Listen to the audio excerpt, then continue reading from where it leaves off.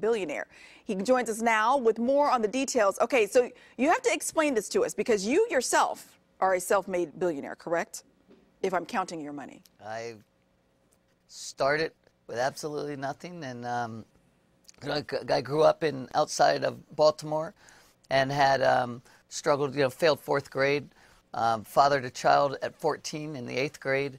Was dyslexic you know, so didn't get off to a great start. But yeah, I did um, realize later that uh, adversity uh, was a wonderful teacher for me, mm. and so I put that into business, and uh, it was really about problem solving. And luckily, I did pretty.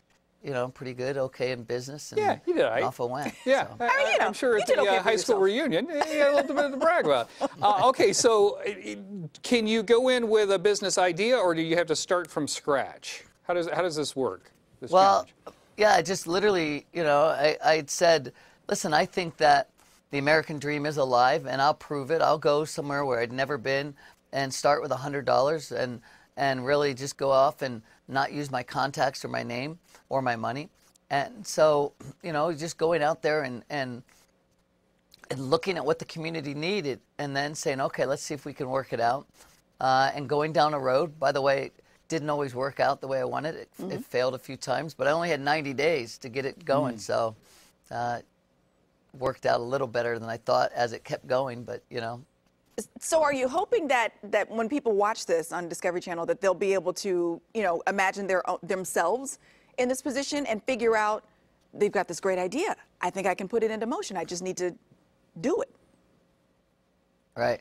Well, I mean that's the idea. You know, I mean I had a brief running with cancer. And you know i came out of that going holy cow. I mean just luckily got through it but said you know i'm older. I get more conservative. I'm afraid to take chances.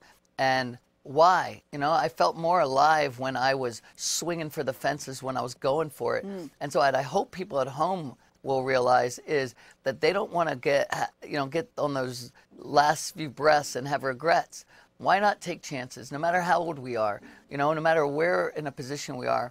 Maybe you're not going to go off and try to create a million dollar business. Maybe you just want a job promotion. Maybe you want to do something, you, you move. Maybe you want to do something that your, your fear kind of locks you in, right? And so instead of fear, why don't we look at it as excitement? Why don't we look at it as a hmm. lesson and, and learn and grow?